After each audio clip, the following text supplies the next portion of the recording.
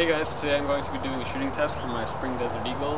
Today we're going to conduct the shooting test from about 20 feet away, .20 gram BBs. This gun is about 170 FPS.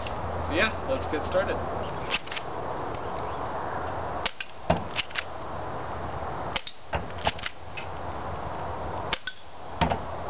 So you can see it's a really accurate gun up close. Uh, got all three targets first try.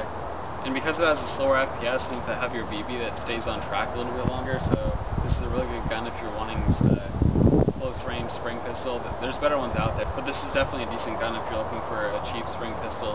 The one thing I don't like about this gun so much is if you are using it as a sidearm, uh, it doesn't fit in a lot of holsters, and for that I could recommend a bunch of different pistols. So if you have any questions or comments concerning that, uh, leave them below or shoot me a private message. Again, that's all I've got for this video, and I will see you guys in the next one.